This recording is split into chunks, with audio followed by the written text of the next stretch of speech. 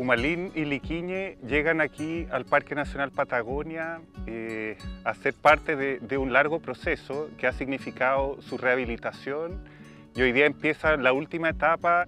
Ellos van a estar acá en esta jaula de preliberación o aclimatación durante dos meses aproximadamente, a partir del cual ellos van a poder anclarse a este sitio y de esta forma incrementar las chances de que a ellos les vaya bien en el medio silvestre. Terminado este periodo de aclimatación, eh, la idea es que sean liberados, devueltos al medio silvestre. Esta es una historia que empezó ya hace más de un año cuando cada uno de ellos fue rescatado y donde se han involucrado múltiples actores.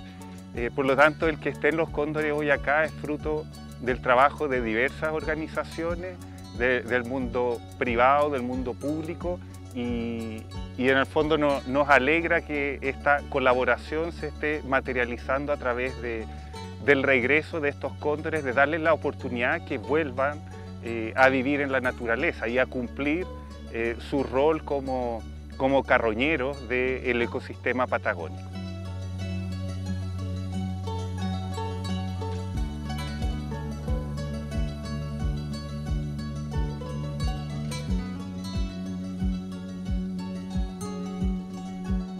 Una liberación en un momento muy mágico, muy emocionante, muy esperanzador que hay una nueva oportunidad.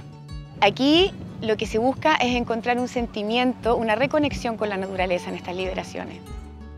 Una de las cosas más importantes fue la concurrencia de mucha gente, eh, el estar ahí, presenciar este tipo de actividades, algo muy potente que conecta a las personas con la naturaleza, con, con las especies, nuestras especies nativas, les da un sentido de identidad.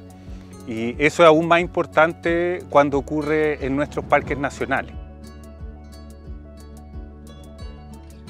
Liquiñe salió con harta fuerza, Pumalín por ahí le costó un poquito más, pero vamos a ver en los próximos días cómo, qué es lo que nos muestra la información satelital de sus desplazamientos y vamos a estar monitoreando cercanamente sus avances y logros.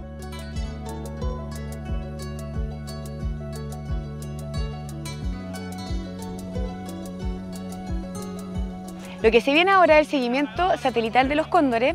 A través de los transmisores vamos a ver en qué parte se ubican para asegurarnos que se reinserten bien al medio. Esta parte es vital, sobre todo el primer mes, porque ellos tienen que empezar a aprender a comer solos y que no el humano les va a dar comida. Entonces, de aquí al mes que viene es vital para asegurar el futuro de estos dos cóndores.